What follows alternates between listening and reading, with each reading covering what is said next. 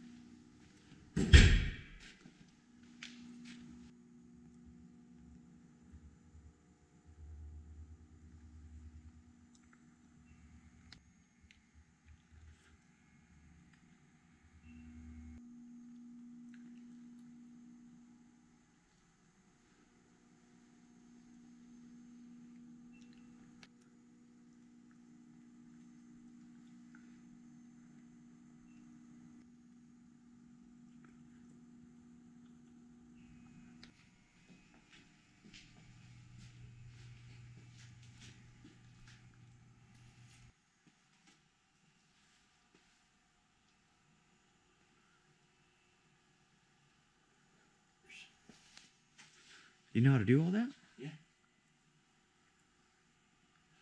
Take a torch, heat them, hammer them out, and cool them.